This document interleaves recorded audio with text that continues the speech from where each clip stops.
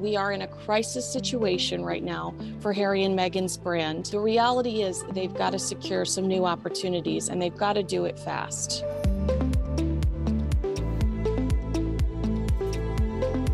This seems like crisis time for the Duke and Duchess of Sussex here in Los Angeles, California. I do imagine, aside from this new agency they have, William Morris Endeavor, whose job it is to secure them lucrative opportunities, whether that's in commercials or influencer, you know, posts, or um, you know, they're saying that they're attempting to make Meghan the new Gwyneth Paltrow.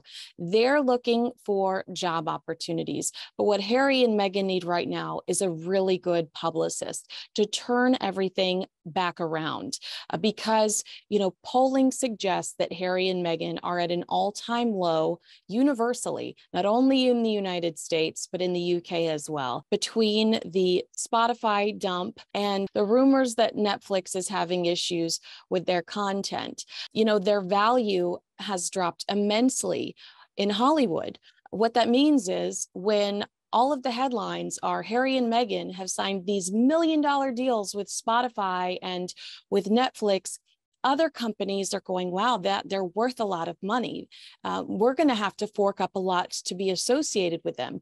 But when Spotify drops the Sussexes and says it's because they are not productive enough, they didn't create enough content, and it looks premature. Bill Simmons is a Spotify executive that works specifically in the sports department, and he actually had a Zoom meeting with Prince Harry where they were supposed to go over ideas and they were supposed to, you know, kind of, it was supposed to be a creative meeting. Now, Bill says if you get him intoxicated enough, he will go into the details, but he, he, he stopped right there on his podcast. But he did hint that Harry left a lot to be desired when it came to creativity. Wall Street Journal later informing us that some of his pitches to Spotify included sitting down and interviewing Putin interviewing Donald Trump about both about their childhood traumas, talking to the Pope about religion. If that is what he was pitching to Bill Simmons, I'm sure Bill was sitting there thinking, my God, how delusional are you? Your status has changed. You're more of a celebrity than royalty. So it's going to be harder to secure those kind of interviews. Bill Simmons saying that they're grifters, he was very critical of them, cursed them, cursed them out several times I think it was a reaction that a lot of people feel. I think a lot of people probably agreed with him, but it definitely started the, the pile on, which we've seen over the last few weeks. Now companies are saying, A, do we even want to work with the Sussexes? And B, are they worth that much going forward? And, and quite frankly, the answer is no. So they've got to turn this around. They've got to to correct the narrative um, that they're easy to work with they're not difficult. You know the wall street journal article says that meghan was making changes at the very last minute to her podcast that it was hard to get her podcast up and running. She was calling people high at the top saying can you help me make these changes right at the deadline? They don't want to be known as difficult.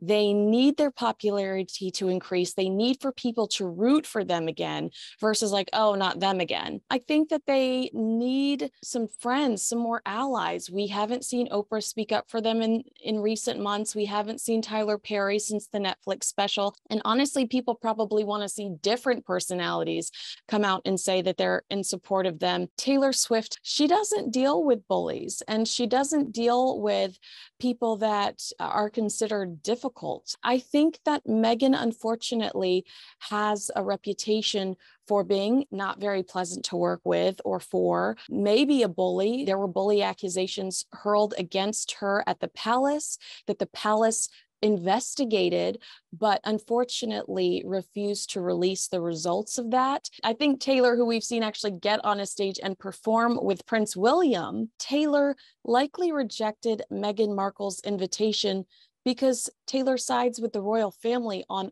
all things Sussex drama. Also, it's been rumored forever that Reese Witherspoon was also invited on Meghan's podcast and she allegedly turned that down as well. Like I said before, we are in a crisis situation right now for Harry and Meghan's brand. They they're not just needing to pay their mortgage, they've also got to pay for intense security in, in Montecito. And Spotify was, you know, allegedly horrified that Harry even made that comment to Oprah Winfrey that he was securing these brand deals to just to survive. Realistically, I see Prince Harry doing the speaker circuit. I've said this for years, and I'm not being condescending when I say I think he wants to be like Mark Zuckerberg or Barack Obama, where they're paid a lot of money to show up and talk to businessmen, to talk to corporations. Harry has dealt with a lot in his life. Harry is a war veteran. I mean,